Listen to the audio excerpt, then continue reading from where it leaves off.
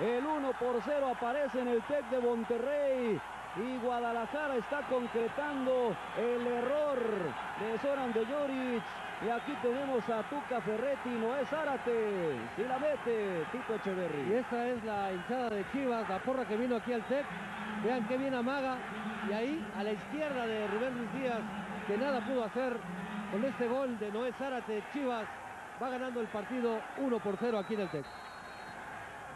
Pues ahí está el 1 a 0.